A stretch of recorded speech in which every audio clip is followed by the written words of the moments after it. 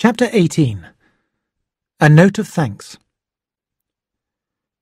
At two o'clock the next afternoon, Hiro was sitting with Schubert in the Funkturm restaurant, halfway up the famous TV and radio tower in the Spandau area of Berlin.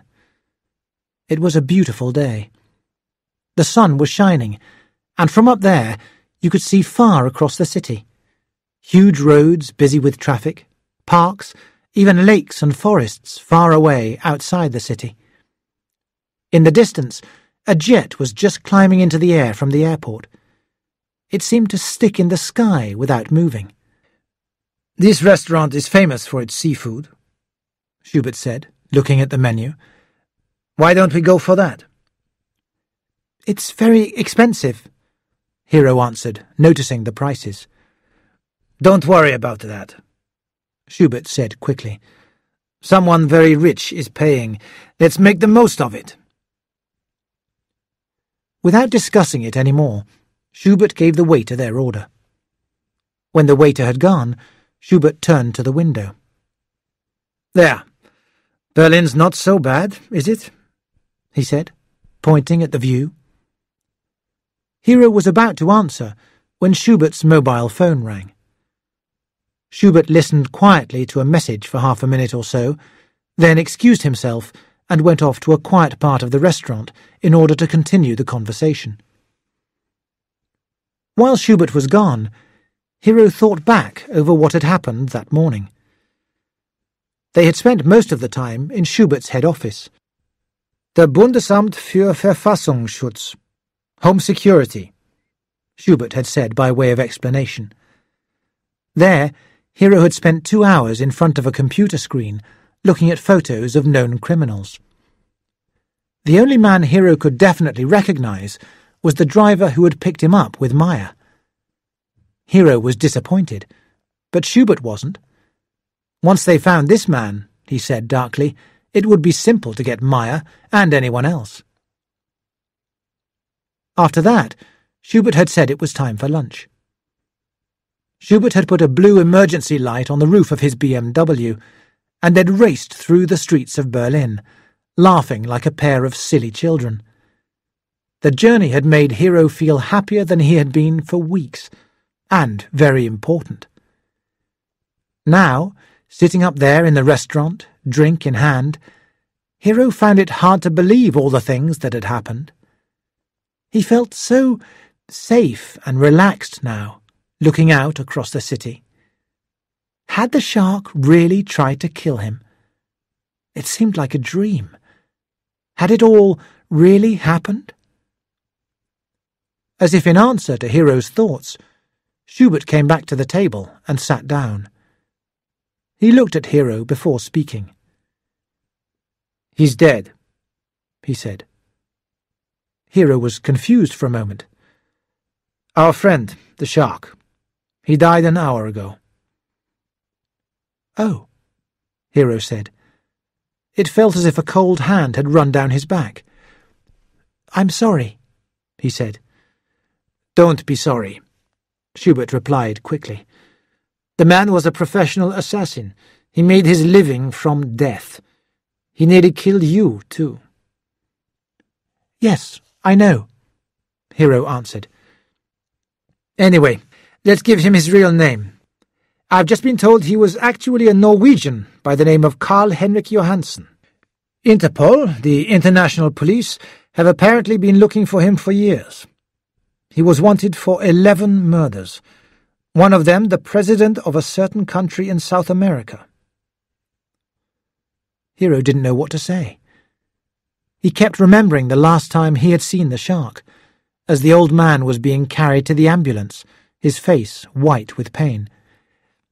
Of course, it was because he came from abroad that he needed to collect a gun from Meyer at the Brandenburg Gate. It would be much too dangerous to try and bring a gun into the country. Hiro went silent. Every mention now of the gun reminded Hiro of the young hotel worker. Schubert was watching Hiro carefully. What's wrong? he asked quietly. Is it the boy? Hiro nodded. I keep remembering, Schubert reached out an arm. Try not to think about that. Very gently, he added, If it helps at all, I can tell you he didn't suffer. He was killed immediately. The shots went through his heart. Neither man spoke for a while. Hiro tried to think about something else. When he felt calmer again, he said, I'm surprised the shark decided to continue with the assassination plan after what happened. Yes, it was a bad mistake. Schubert looked at Hiro. I think he didn't like losing to a kid. Schubert seemed embarrassed for a moment, then went on quickly. I'm sorry, I, I'm not suggesting you're a kid, but I guess the shark thought of you like that.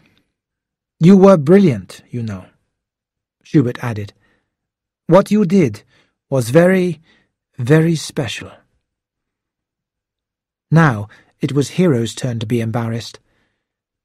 Fortunately, at that moment the waiter arrived, so Hiro didn't need to answer. A huge plate of seafood was placed in front of him. Hiro suddenly realized he was terrifically hungry. Guten Appetit, Schubert said. Itadakimasu, Hiro replied. They both ate happily in silence for a short time. Then Schubert sat back and looked closely at Hiro. Hiro, I need to talk to you about Mr. Schmidt, he began. You've been so extraordinarily brave, it's only fair you should know something about him. But I'm very sorry, I still can't tell you his real name. I will say this, though. The person whose life you saved is very, very important. He's in the government? Hiro asked. Schubert looked directly at Hiro. I can't say, but he's someone of the very highest importance. And you can't tell me why the shark was hired to kill him either, I suppose, Hiro said.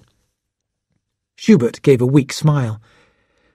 Important people make important enemies. We think Meyer's men have been trying to kill Schmidt for months. After an earlier plan failed, it seems they decided to hire the best. That is, the shark. Hiro was confused. Then why... why was Schmidt in a hotel with only you there? Why was he there in secret? Schubert looked embarrassed again. After a moment, he sat forward. Sometimes, Hiro, a man like Mr. Schmidt has part of his life he wishes to keep private. That's why he meets his friend in a hotel. That's why I was the only bodyguard at the hotel. Do you understand what I'm saying? Hiro suddenly remembered the blonde woman who had opened the door of Schmidt's hotel room. You mean... he said slowly. Somehow Meyer and his men found out about Mr. Schmidt's... Uh, Schubert searched for the right word. Mr. Schmidt's um, arrangement. When they did, they saw an opportunity to kill him. Hiro stared at Schubert. The man had told him as much as he could. Hiro nodded. I think I understand. Thank you for telling me. Schubert shook his head. No, no, we must thank you. He gave a little cough. Actually, while we're on that subject, I have something for you. He reached into his pocket, pulled out an envelope, and held it for a moment. Mr. Schmidt asked me to give you this, Schubert said, and handed the envelope across. Hiro looked at it for a moment or two. Go on, open it. Schubert said. Hiro did as he was told. Inside, there was a second envelope and a small handwritten note. In English, the note read, Thank you so much for all you have done for me. You are a true samurai. Enjoy your trip. The note was signed with the single word, Schmidt. Hiro put down the note and opened the second envelope. Inside were ten completely new 500 euro notes.